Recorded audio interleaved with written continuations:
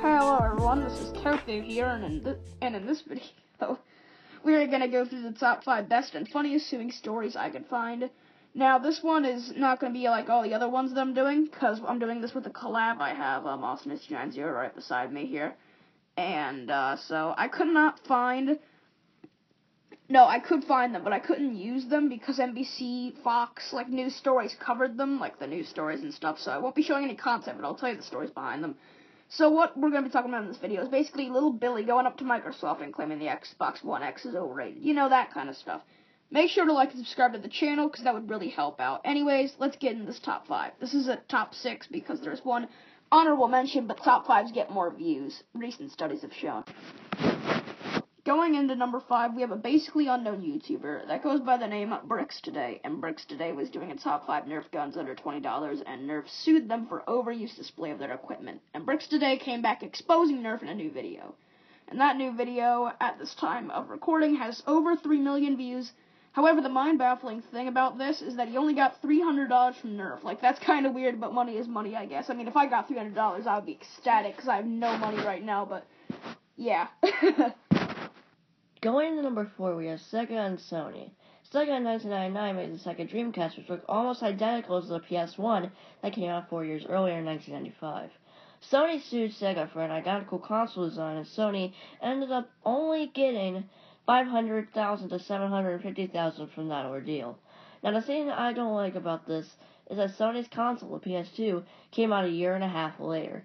Like, Sony needs to let it go because the because the suing began in mid 2000 and five months after the new console design came came out for the PS2. Like, come on, Sony. Going into number three, we have a Teenage Gamer and Nintendo, and this suing takes place between 1998 and 2002. Samuel Harrington bought an N64 in that year and broke his thumb on the analog stick, while in 2002 he bought a GameCube and broke the same thumb again and his thumb was permanently paralyzed from that point forward and is still to this day. But he got four over four million dollars from from Nintendo, and his mom was very proud. Going to number two, we have Twitch and hacking. At first, you feel sorry for Twitch, but afterwards, you feel sorry for the hacker. What happened about three years ago was that Twitch banned a bunch of huge streamers that were making a lot of money off their broadcast. Twitch claims they got hacked by other by teenage streamers. However, these hacking claims were totally false, and a big streamer back in the day, go going by Op- Opium Pass, and he got and he got six to seven million, which was twice what he made in a year. The weirdest thing is the so-called hacker is still in jail. I just think it's kind of weird, but I feel sorry for that guy. Going to number two, we have Twitch and hacking. At first, you feel sorry for Twitch, but afterwards, you feel sorry for the hacker. What happened about three years ago was that Twitch banned a bunch of huge streamers that were making a lot of money off their broadcast.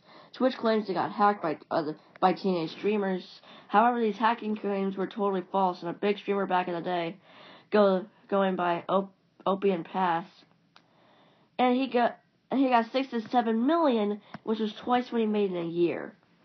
The weirdest thing is the so-called hacker is still in jail. I just think it's kind of weird, but I feel sorry for that guy. Real quick before we get into our um, num- number one spot, here's our honorable mention. Our honorable mention goes out to two 13 year old kid YouTubers, Zombie36 and Froggy Hay. Zombie36 thought Froggy kept taking his stuff, so he set up cameras in the Froggy's house.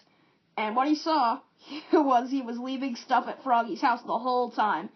What makes this story really bad for Zombie is that he actually burned Froggy's most prized possessions, and the 13 year old went to juvenile detention for a year. And then he got back, he, he actually got back two weeks ago and talked about his experience in a vlog. He has so many dislikes on his channel because, well, he burned Froggy's stuff, and let me tell you, they are not friends anymore.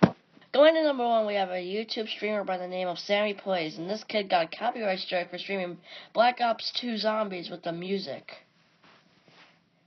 Sammy ended up suing Activision because of the fact that he couldn't use the music that many big streamers with lots of cash use. Big streamers pay money to Activision, and if you don't make money, you're worthless to the self-centered company.